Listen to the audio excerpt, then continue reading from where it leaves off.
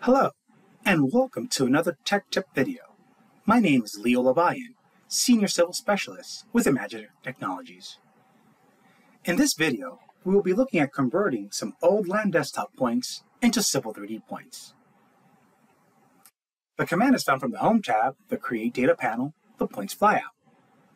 It's an easy command to use as the command will sense any Civil 3D object and convert it. There is a catch. Civil 3D will only convert data that is available on that Land Desktop object, not just necessarily what is visible. That is, if it's missing elevation or description data in the embedded objects, there will be nothing to show in the converted Civil 3D point. Let's jump right into Civil 3D and check this out. I already have a drawing open here.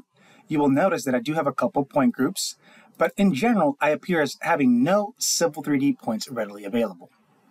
On screen, I do have a series of points that I can take a look at, and I can work with them. Going into the properties of this particular point, I'll be able to notice that it does show off as a Land Desktop AECC point, the old formatting for them. What we're going to do here is easily convert uh, some of this monumentation that I see over here, some centerline shots, I have uh, quite a bit of roadway going on on this side, what it looks like and have Civil 3D convert this information into design data that I can use inside of Civil 3D. Let's take a look at this. Oh, I will go over here to the Home tab, the Create Ground Data panel. Under the Points flyout here, I will leverage a command to convert Land Desktop points. The command auto-senses any Land Desktop points on my screen here. I do have options to configure and change, which I'm not going to do anything with. If I wanted to even create a point group, I can. Notice I do not have the option of selecting points. It auto senses them. As I go ahead and click OK, it finds them and converts them. You can see here how the center lines have now converted. How the text looks pretty uniform. And the road is shown here. Now, in this particular drawing, I didn't do anything special. We can use point groups and we can use description keys to manipulate what we have. It's that easy though. Over here, I do have a no display point group. If I so desired, I can go in here and refresh my point group or update my point groups, excuse me. And if I wanted to, I can resort my point groups. I only have a no display. I can bring this to the top, bring it to the bottom, and choose to turn points on and off. I can use point groups to control what I see inside of the software here, but I could also use Civil 3D configuration to display what I want to. There are some monumentation points that here I can process. Description keys work just as, as they always do once it is a Civil 3D point. Under my point collection here, you'll notice that I have no description keys. Let's create a brand new description key here. And let's create some codes.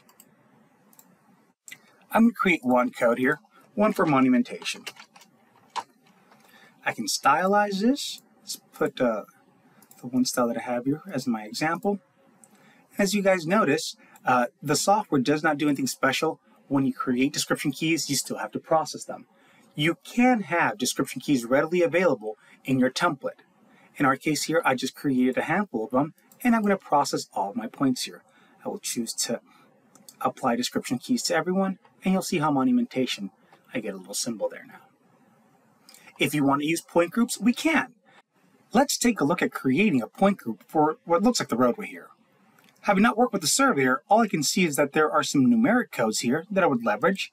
I'm taking a wild guess here. I'm going to create a brand new point group. And let's use what we see on the screen here. I'm going to call these roadway.